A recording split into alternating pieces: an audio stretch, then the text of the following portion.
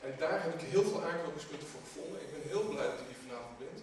En Het gaat hier heel concreet over van hoe bereiken wij eh, mensen ehm, om mee te gaan denken over de toekomst van de stad.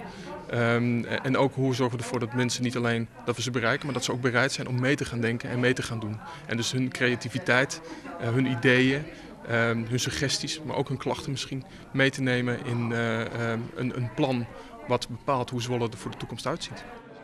Deze avonden zijn belangrijk om eh, zoveel mogelijk burgers mee te laten praten met de stad. En wat mij betreft eh, worden er nog veel meer echt eh, mensen bereikt die normaal gesproken ook hier niet voor gevraagd of op afkomen.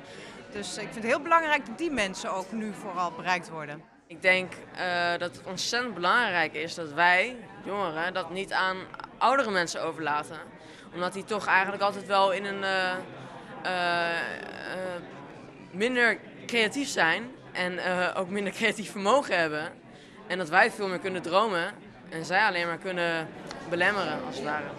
Ik hoor een fietstocht in de omgeving van de stad. Ik hoor een rollatortocht heb ik gehoord. Ik heb eh, een feest gehoord, aansluit bij andere feesten. Dat, dat is wat er al is. Ehm, maar als wij hele goede ideeën horen, waarvan zeggen van hé, hey, dat zorgt ervoor dat wij daar eh, mensen bij kunnen betrekken. En dat het ook op een creatieve manier gaat, eh, waar mensen krachten. Dan gaan we daar zeker naar kijken en dan gaan we dat benutten. We willen niet alleen praten, we willen niet alleen ideeën ophalen, we willen er ook wat mee doen. Hebt u zelf al een idee ingebracht? Ik heb nog geen ideeën ingebracht. Ik heb rondgelopen. Maar het is ook echt een avond waarbij ik zo meteen ga horen ehm, eh, wat, er, wat er allemaal opgehaald is. Maar als wij als gemeente zelf de ideeën verzinnen, ik heb geen illusie. De mensen in de stad kunnen dat veel beter dan wij.